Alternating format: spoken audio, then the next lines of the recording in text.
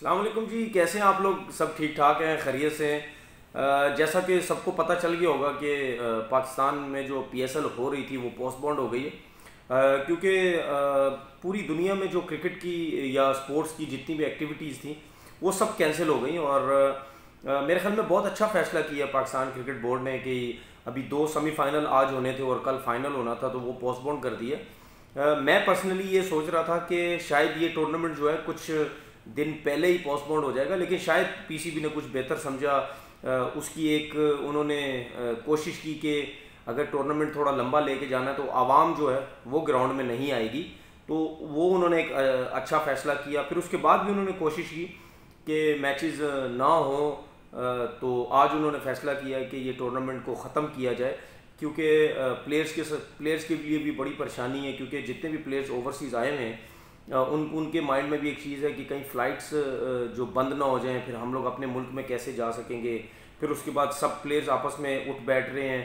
سب کو وہ ایک پرابلم ہے کہ کسی کو کسی کی وجہ سے کوئی کرونا وائرس نہ ہو جائے۔ کوئی سو چیزیں دماغ میں آتی ہے پھر وہ جو جو کمنٹیٹرز وغیرہ ہیں وہ بھی سب ٹینشن میں ہیں کہ کسی نہ کسی طریقے سے واپس جایا جائے۔ پھر براڈ کاسٹنگ ٹیم جو ہیں ان میں بڑی پریشانی ہے۔ تو شاید میرے خیال میں ایک اچھا فیصلہ کیا پاکستان کرکٹ بورڈ نے اور سننے میں یہ بھی آ رہا ہے کہ ایلکس ہیل، ہیلز، وہ انگلینڈ تو چلے گئے لیکن سننے میں آ رہا ہے کہ ان کو بھی کوئی سمٹمز ان کے اندر ظاہر ہوئے ہیں کہ شاید ان کو بھی کوئی کرونا وائرس ہو گیا ہے۔ لیٹس اب دیکھتے ہیں کہ ہماری تو دعا ہے کہ جتنے بھی کرکٹرز ہیں یا جتنے بھی پاکستان میں لوگ رہتے ہیں ان سب کو اللہ تعالیٰ ان سب چیزوں سے سیف رکھے، کیونکہ سب کو پتہ ہے، سب سنتے ہیں کہ یہ جو بیماری ہے، یہ اگر کسی کو بھی ہوتی ہے، یہ ڈائریکٹ جو آپ کے لنگز ہیں، جو آپ کے پھیپڑے ہیں، اس پہ اٹیک کرتی ہے اور یہ بھی سنتے ہیں کہ یہ جو ایک ریشے کی صورت میں جس طرح آپ کے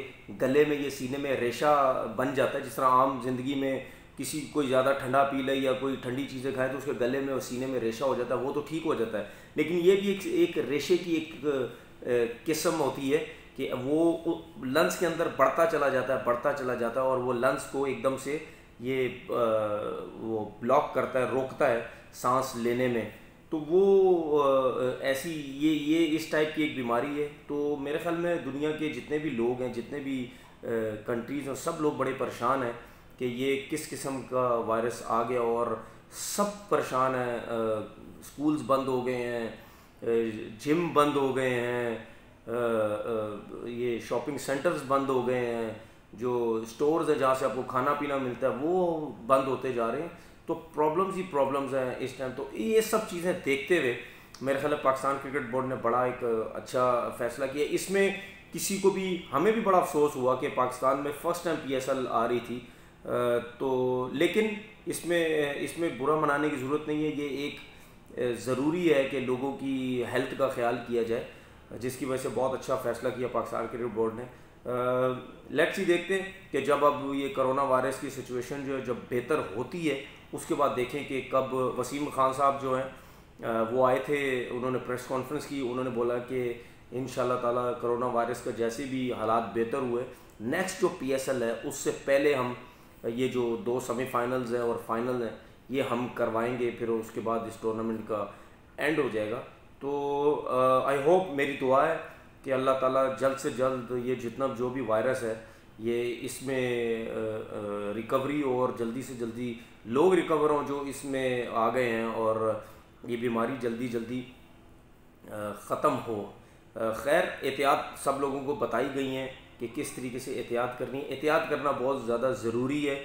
باقی اللہ کے اوپر چھوڑ دیں، جس کے نصیب میں جو ہے وہ ہوگا۔ کوئی انسان کسی بیماری سے کسی پریشانی سے بچ نہیں سکتا۔ اپنی کوشش پوری کریں کہ کسی بھی طریقے سے کہ جو احتیاطی تدابیر بتائی گئی ہیں، اس سے بچا جائے۔